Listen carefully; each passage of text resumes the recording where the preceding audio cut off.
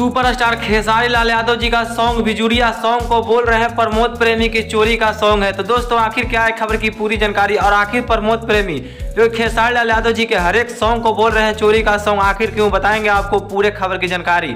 वो भी पूरे डिटेल के माध्यम से, लेकिन उससे पहले अगर आप हमारे चैनल पर नए हैं तो वीडियो को लाइक कर चैनल को सब्सक्राइब ज़रूर करें। और बिना समय लेते हुए आइए वीडियो को शुरू कर देते हैं। तो दोस्तों, आपको बताना चाहते हैं कि जिस तरह से खेसारी लाल यादव जी का रफ्तार 2022 में चलते हुए नज़र आ रहा था, उसी तरह से जो खेसारी लाल यादव जी का फिर से रफ्तार, जो कि 2023 में उधार लिया। और दोस्तों 23 में अभी तीन या चार दिन हुआ है, और तब से खेसारी लाल यादव जी का तीन चार सॉन्ग आ गया। और दोस्तों, एक और खेसारी लाल यादव जी का धमाका सॉन्ग जो कि बिजुरिया सॉन्ग का पोस्टर रिलीज़ हुआ है। और दोस्तों, यह सॉन्ग जो खेसारी लाल यादव और सपना चौहान का है। और दोस्तों, यह सॉन्ग जो कि कल छः तारीख को आने वाला है सुबह साढ़े छः बजे एस के म्यूज़िक के द्वारा।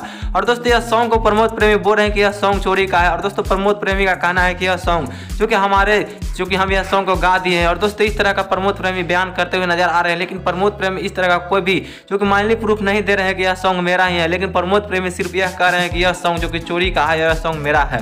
लेकिन दोस्तों, आप सोच सकते हैं खेसारी लाल यादव और प्रमोद प्रेमी का लेकर जो विवाद जो कि फ़र्स्ट जनवरी को हुआ था, जिसमें कि हैप्पी न्यू ईयर का सॉन्ग जो कि खेसारी लाल यादव और उनका आया था मुर्गा वाला। और दोस्तों, यही सॉन्ग को लेकर जो कि प्रमोद प्रेमी सभी सॉन्ग को बोलते हुए नज़र आ रहे हैं कि खेसारी लाल यादव जी जो कि हमारे सॉन्ग को चुरा चुरा कर गा दिए हैं। लेकिन दोस्तों, आप सोच सकते हैं कि आखिर कौन है वो भोजपुरी इंडस्ट्री का असली चोर, जो कि खेसारी लाल यादव जी? को इस तरह से बदनाम करते हुए नज़र आ रहा है? और दोस्तों खेसारी लाल यादव जी एक ब्रांड है, और दोस्तों, उनका जो कि कोई भी टक्कर नहीं ले सकता है, लेकिन खेसारी लाल यादव जी का हर एक सॉन्ग जो कि सुपर डुपर होता है। और दोस्तों, एक बिजुरिया सॉन्ग जो कि आज कल रिलीज़ होने वाला है साढ़े छः बजे एस आर के म्यूज़िक से। और दोस्तों, साढ़े छः बजे यह सॉन्ग को आप लोग सुनना नहीं भूलें, क्योंकि यह सॉन्ग जो कि काफ़ी ज़्यादा शानदार सॉन्ग है। और दोस्तों, इस तरह से प्रमोद प्रेमी जो कि खेसारी लाल यादव जी से कहीं ना कहीं जो कि इस तरह का बात जो करते हुए नज़र आ रहे हैं कि कहीं ना कहीं खेसारी लाल यादव जी हमारे सॉन्ग को चुरा के गाते हैं लेकिन दोस्तों, यह एक बड़े स्टार है। और दोस्तों, इस तरह से खेसारी लाल यादव जी नहीं कर सकते हैं। लेकिन दोस्तों, आपको जो लगता है, आप अपने कमेंट बॉक्स में ज़रूर बताइएगा दोस्तों खेसार लाल यादव और प्रमोद प्रेमी को लेकर।